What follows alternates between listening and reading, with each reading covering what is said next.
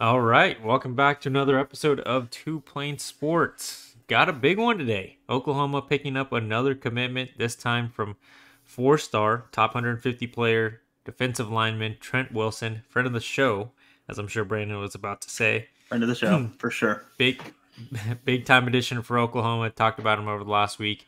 We're going to dive a little bit more into it and how this puts Oklahoma um, in position for the next few months because very different from the last couple of years. Oklahoma's striking early for their recruiting.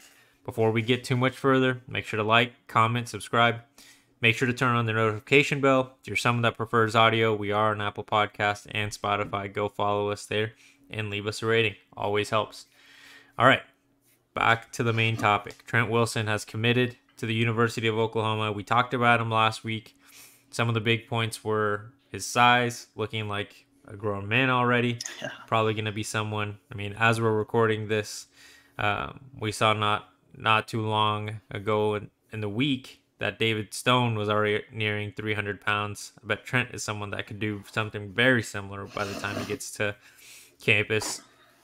And he is now the the second highest rated player in this Oklahoma recruiting class, depending on which recruiting platform, of course, that which you look at. But he's right up there, and it puts Oklahoma in, in striking distance to get to a top five class. Brandon, what do you think?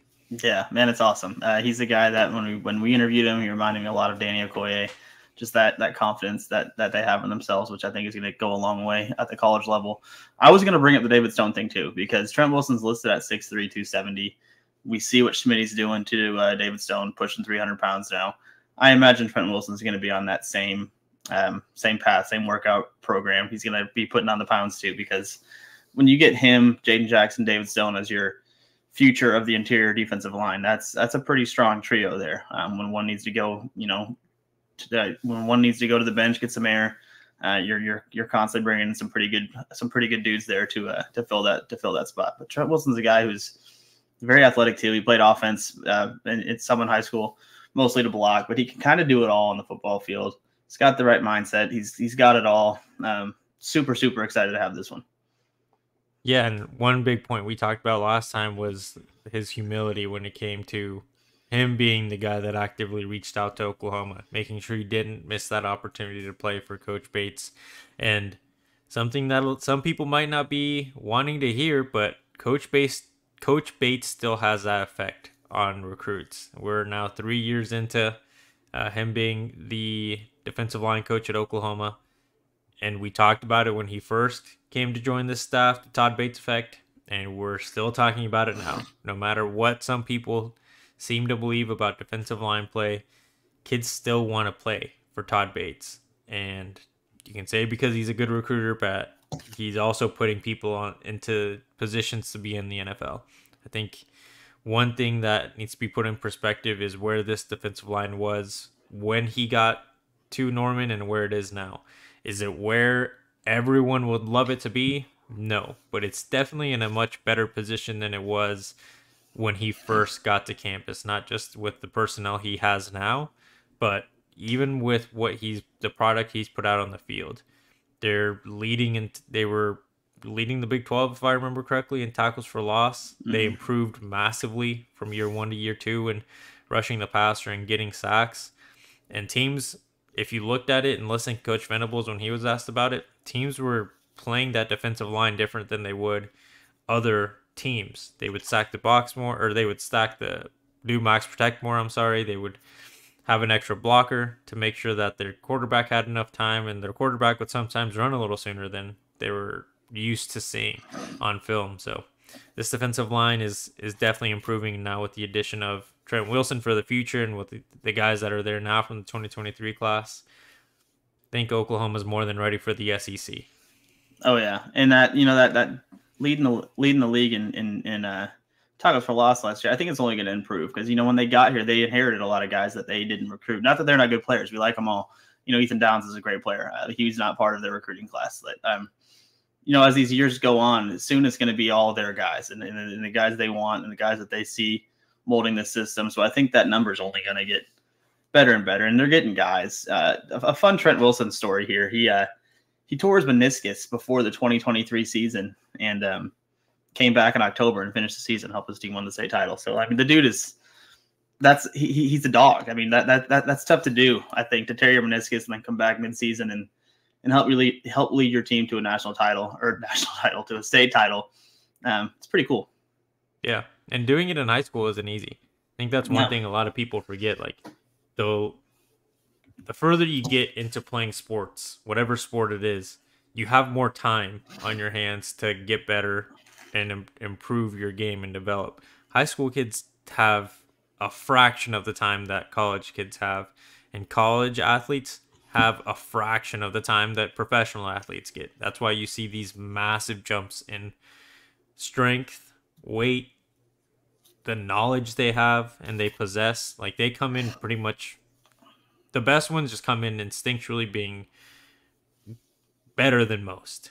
But the ones that excel are the ones that put in the work because now they have time and they're not just using it to screw around. Like they're dedicating it. And I think that point you brought up just shows like Trent already as a high school player, and that was before the 2023 season. In his going into his junior year, he's putting in that kind of work. Like imagine yeah. when he's got more time and more coaches, more resources helping him out. I think the sky's the limit here for this guy. Hundred percent, man. He's. I mean, it's, it's, it also it just shows how much he cares, how dedicated he is to this stuff. Because I mean, a lot of I feel like a lot of kids that junior season, you know, I mean, it's it's it's big, but it, I mean, he still has a senior season to prepare for and stuff like that. I feel like a lot of kids might shut it down there, you know, and and, and I'm not even going to blame the kids who would or who, who who have done that. I mean, health is something you don't want to play with, but to to overcome that, still be like, "F it, I'm going to come back. We're going to win," and I'm sure he put up pretty pretty good numbers as as a junior as well. So I mean, that's I think it just says a lot about the player that you're getting out here in, in, in Trent Wilson. Hundred percent. That power line graphic from last year be cool to see that after the first three seasons of Oklahoma uh, under the Brent Venables regime. Because in that first year, they missed on a couple. I mean, who you can't the, get them all. Who was the kid that Keontae Henry? He was yeah. a highly rated four star off the team. Um, Supposed to play basketball too. Yeah, he he had some issues I think going on. Yeah, I don't know he, exactly what is what what happened there, but yeah, he did, if I remember correctly. But now, you know, there's also an expectation that Grayson Halton's going to be someone that contributes, who was also in that 2022 class, and I think he was might have been the first guy to commit once this new staff came in. Like one of the guys that Oklahoma really had no. Definitely up there. Him and the other uh, D line that they got, they were I can't think of his name right now. They got like two defensive linemen right around the same time. That I think were the first. R Mason. Yeah, R Mason. Yeah, they were right there. They were they were they were basically battling, and obviously now R Mason has been going through some injury issues, but he's had a sky high expectations going into every season. Even in his freshman year, he played well. Now Grayson Halton's getting some of that hype behind him.